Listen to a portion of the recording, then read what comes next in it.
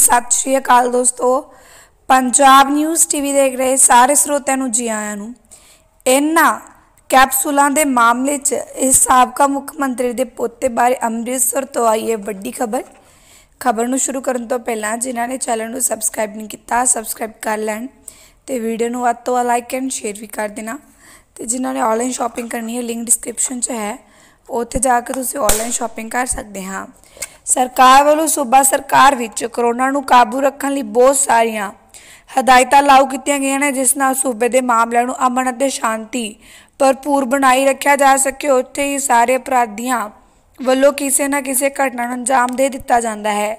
ਅਜਿਹੀਆਂ ਹੀ ਘਟਨਾਵਾਂ ਨੂੰ ਰੋਕਣ ਲਈ ਪੰਜਾਬ ਪੁਲਿਸ ਵੱਲੋਂ ਬਹੁਤ ਸਾਰੇ ਸਖਤ ਨਿਯਮ ਲਾਗੂ ਕੀਤੇ ਜਾਂਦੇ ਨੇ।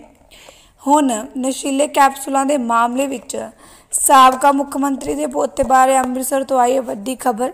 ਜਾਣਕਾਰੀ ਅਨੁਸਾਰ ਦਿੱਤੇ ਪੰਜਾਬ ਵਿੱਚ ਤਸਕਰੀ ਦੇ ਮਾਮਲੇ ਨੂੰ ਰੋਕਣ ਵਿਰੁੱਧ ਸਰਕਾਰ ਵੱਲੋਂ ਸਖਤ ਮੁਹਿੰਮ ਚਲਾਈ ਜਾ ਰਹੀ ਹੈ। ਉੱਥੇ ਹੀ ਕੱਲ ਅੰਮ੍ਰਿਤਸਰ ਦੇ ਦਿਹਾਤੀ ਪੁਲਿਸ ਦੇ ਐਸਐਸਪੀ ਧਰੂਵ ਦਈਆ ਨੇ ਕੀਤੀ ਗਈ ਜਾਂਚ ਦੁਆਰਾ ਇਹ ਜਾਣਕਾਰੀ ਦਿੱਤੀ ਹੈ ਕਿ ਪੁਲਿਸ ਨੇ 15 ਕਰੋੜ ਦੇ ਨਸ਼ੀਲੀ ਕੈਪਸੂਲ ਬਰਾਮਦ ਕੀਤੇ।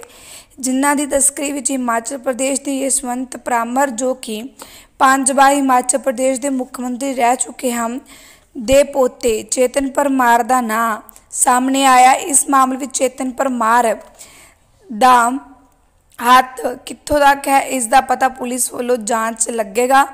ਹੁਣ ਤੱਕ ਇਸ ਮਾਮਲੇ ਵਿੱਚ ਕੀਤੀ ਗਈ ਛਾਪੇਮਾਰੀ ਵਿੱਚ 10 ਲੋਕਾਂ ਨੂੰ ਗ੍ਰਿਫਤਾਰ ਕੀਤਾ ਗਿਆ।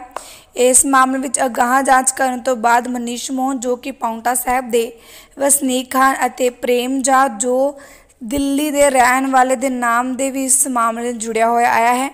ਇਹਨਾਂ ਦੋਵਾਂ ਦੀ ਭਾਲ ਨਸ਼ਾ ਵੇਚਣ ਵਾਲੇ ਸਨ, ਜੋ ਕਿ ਅੰਮ੍ਰਿਤਸਰ ਦੇ ਕਟਰਾ ਸ਼ੇਰ ਸਿੰਘ ਮਾਰਕੀਟ ਵਿੱਚ ਨਸ਼ਾ ਵੇਚਦੇ ਸਨ ਤੇ ਉਹਨਾਂ ਦੀ ਪੁੱਛਗਿੱਛ ਕਰਨ ਤੋਂ ਬਾਅਦ ਇਹ ਪਤਾ ਲੱਗ ਸਕਾ।